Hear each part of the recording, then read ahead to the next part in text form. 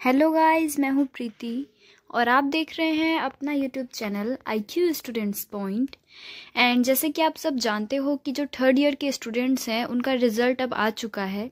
और ऐसे में बहुत से स्टूडेंट्स ने अपने आगे की फर्दर स्टडी के लिए अप्लाई किया होगा।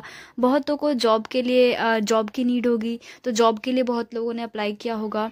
बट आप जानते हो कि आप आगे कुछ भी प्रोसेस कंटिन्यू करते हो, चाहे जॉब कंटिन्यू करो, या फिर आगे की स्टडी कंटिन्यू करो, आप लोगों के लिए जो सर्टिफिकेट है आपके ड्यू की तरफ़ से, वो मैंडेटरी हो जाता है।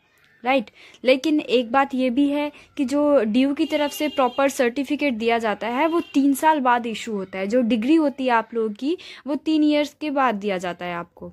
ठीक है? आफ्टर द थ्री ईयर्स आपको आपकी डिग्री प्रोवाइड कर दी जाती है।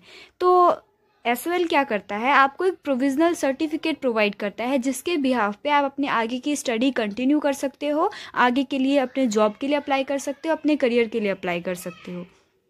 राइट? right? तो मैं आपको बताऊँगी कि कैसे आपको आपका प्रोविजनल सर्टिफिकेट जो है वो ऑनलाइन डाउनलोड करना है। उसके लिए आप क्या करोगे? एस की ऑफिशियल वेबसाइट को लॉगिन कर लोगे। ऑफिशियल वेबसाइट लॉगिन करने के बाद कुछ ऐसा इंटरफेस शो होगा आपके स्क्रीन पे। आपको यहाँ स्टूडेंट पे क्लिक करना है। इस पे क्लिक करके स्टूडेंट पे जब आप क्लिक करेंगे, नीचे स्क्रॉल करना है। यहाँ देखिए प्रोविजनल सर्टिफिकेट का एक ऑप्शन शो हो रहा होगा आपको। उस पर आप क्लिक कर दोगे। उस पर क्लिक करके सबसे पहले आपको सेशन सेलेक्ट करना है कि कौन से सेशन में आपका रिज़ल्ट आया है। तो 2019-20 आप लोगों को सेलेक्ट कर लेना है। यहाँ पे सेलेक्ट कर लिया आपने। देन आप अपना एस रोल नंबर यहाँ पे फिल करोगे। एस रोल नंबर आप सबको पता होगा, आपके आई कार्ड पे मेंशन होता है। ये देखिए, ये आपका आई कार्ड है और यहाँ पे आपका एस रोल नंबर मेंशन होता है।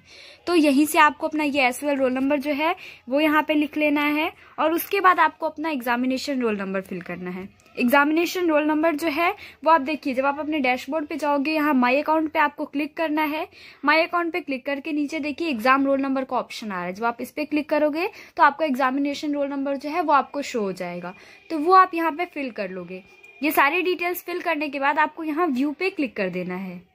जब आप यू पे क्लिक कर दोगे तो आपका जो प्रोविजनल सर्टिफिकेट है, वो डाउनलोड हो जाएगा। अब कुछ स्टूडेंट्स को यहाँ पे प्रॉब्लम आ रही है कि उनका जो प्रोविजनल सर्टिफिकेट है, वो डाउनलोड नहीं हो पा रहा है।